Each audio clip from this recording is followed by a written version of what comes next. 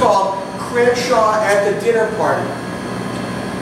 Cranshaw leans back in his chair and cracks the back leg. He sits suddenly straight to hide what he did. The hostess steers the conversation to the politics of bullying, which everyone decides is the nature of the beast. Dessert is served. Toffee cheesecake with kiwi. It begins to hail. What does the future hold, the hostess asks. Says Mark, the wise guy, hands. Maury the florist offers opportunity. The reins, insists Bertram. The future holds the reins. Just men, the hostess queries?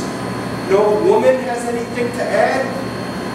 Cranshaw stares at the woman whose shawl refuses to cover her breasts. He leans forward and touches her knee with his toe. Back, she yelps.